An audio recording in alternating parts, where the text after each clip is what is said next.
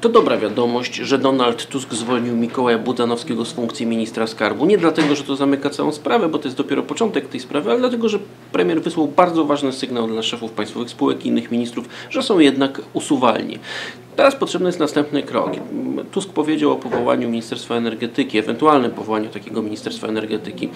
Taki resort funkcjonuje w wielu krajach i to jest po prostu wymóg naszych czasów. Energia jest po prostu tak ważną sprawą, że po prostu od tego zależy byt całych gospodarek i całych e, państw. Na dodatek minister Budzanowski zaniedbał bardzo ważny kierunek, kierunek strategiczny.